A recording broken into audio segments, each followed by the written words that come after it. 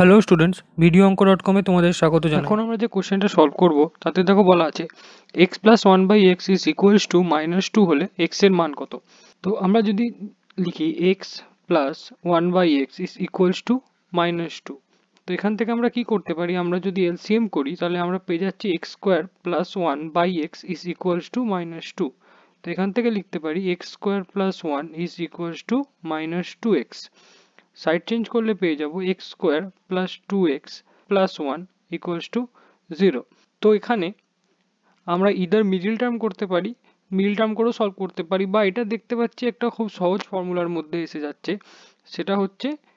X plus one তার whole square that is equals to zero বা লিখতে পারি x plus one is equals to zero or x is equals to minus one বা এই step থেকে এইভাবেও করতে পারি মিডল টার্ম করে বা এখান থেকেও, যে এক্স প্লাস ওয়ান তার whole square is equals to zero অর্থাৎ x plus one into x plus one equals to zero দেরপর আমরা কি পেয়ে যাচ্ছি? এক্সের দুটো ভ্যালু দুটো ভ্যালুই হচ্ছে x equals to minus one comma minus one যে কোনো একটা হবে করলেই এটা সঠিক উত্তরই আসবে। Thank you for watching my video for more solutions like this please visit ভিডিওঙ্ক dot com